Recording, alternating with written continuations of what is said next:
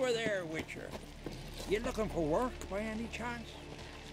Man needs worries like a boat needs ballast to sail straight and even. Listen, Witcher. Got us some muire d'yaeblen. You know, drowners. Real problem. The kind your silver sword could most certainly solve. Let me guess. They're tearing your nets, devouring your fish, and attacking the occasional lone boatman or tavern patron who walks home along the shore. Were that the only harm? Terrors in the bay are meaner than on the continent. They hunt come dusk or dawn. They attack fishermen wielding just oars and warriors alike. Sea tosses them up after. Armor shredded, guts devoured. Strange. Any witnesses? Rurik, my apprentice. He was on a boat the Muire D'yaeblen attacked. There's Tove, too. Her man was killed. She lives nearby, up a bit. Sorry, none other comes to mind. Those who see the beasts, meet him, well, they generally don't come back to dry land alive. Let's talk about my pay first.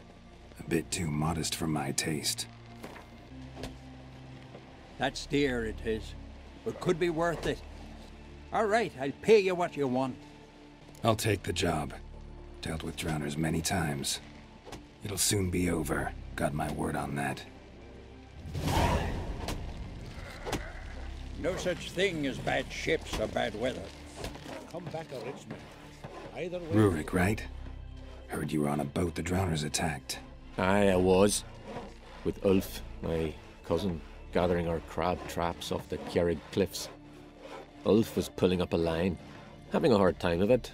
You know, grand, I thought. Cage has got to be full, it'll be a good haul. Then something tugged back and down. Weren't a blink and Ulf was underwater. Called after him once, twice, thrice. Then the water went red with blood. And I smelled something horrid. Rotten, but worse. Then the Muire D'yaeblen flipped the boat. Don't even know how I made it ashore. Must have had Freyr watching over me. That, or the monsters had eaten their fill. Thanks for the story.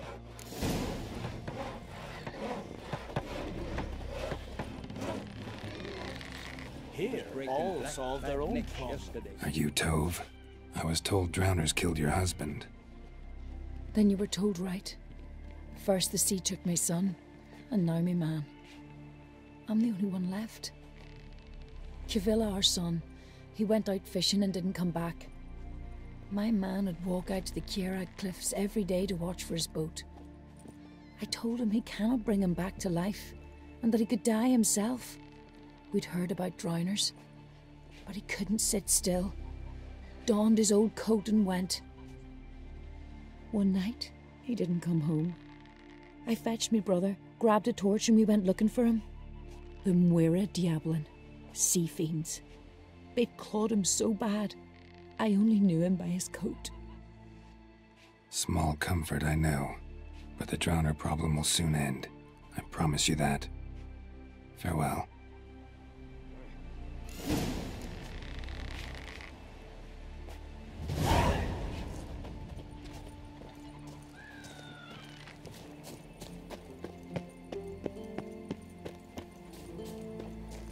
Another victim.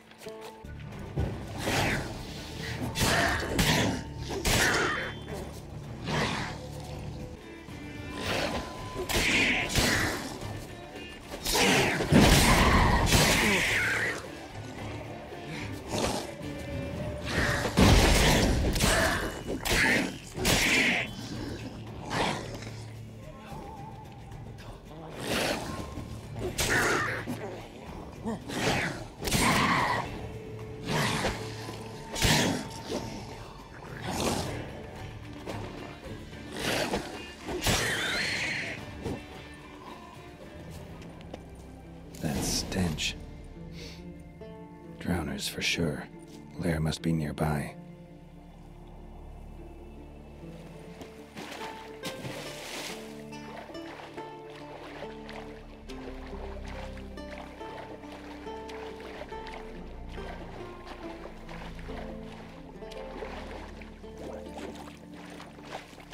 That stench again.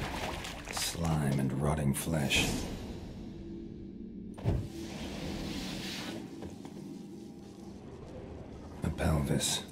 Scratched up, long wide claw marks.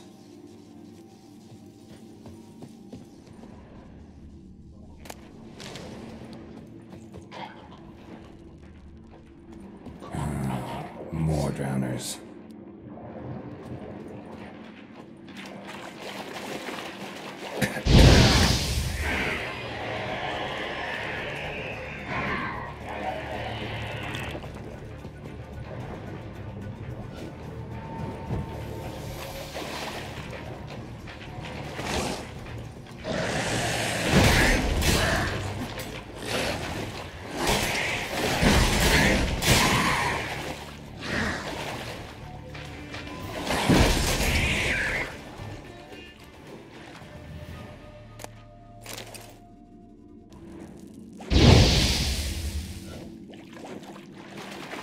Monster's lair, but definitely not a drowner's. Bruises on his neck, crushed larynx, strangled. Almost untouched, hidden for later. Drowners just don't do that.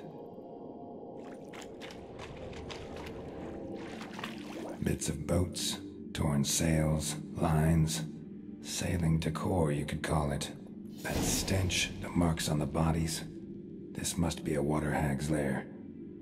Got a keen sense of smell. She won't come back while I'm here. Unless. She coexists with drowners. Maybe I could make an extract from their glands cover up my scent. That should do it. Now for a place to hide and wait. Behind those boats.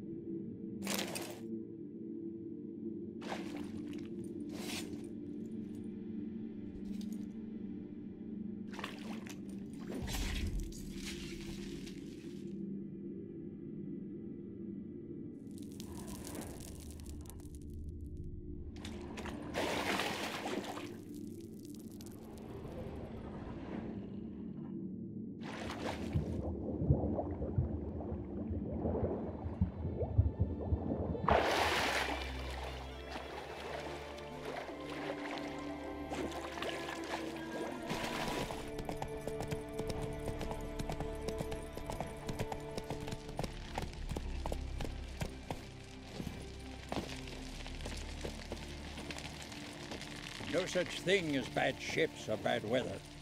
Only worthless fucking sailors. Job's done. Here's the proof. Now, why would I want to see. What the devil's that? Water hag. An old, clever one. She was the danger. Seen a lot of ugly critters in me life. Morays, lampreys, blobfish.